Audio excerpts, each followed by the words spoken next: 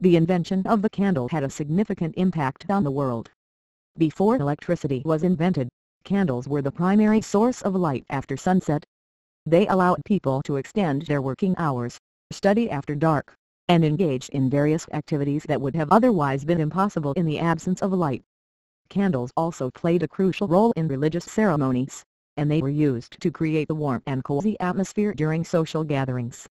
Moreover, candles were used as a means of communication during wartime and as a symbol of hope during difficult times. However, candles have their downsides too. They are a source of indoor air pollution and can be hazardous if not handled properly. They can also be expensive to produce, and the wax used to make them is often derived from non-renewable resources. To improve the candle, several advancements have been made in recent years. For example, the use of soy wax and other natural waxes has become more prevalent, reducing the reliance on petroleum-based wax. Additionally, new types of wicks have been developed that are less likely to produce soot or smoke.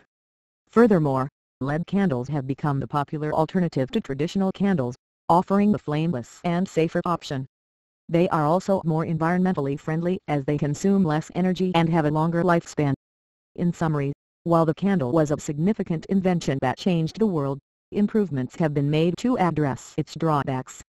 The use of natural waxes, improved wicks, and the development of LED candles are just a few examples of how the candle has been improved to become safer, more efficient, and more sustainable.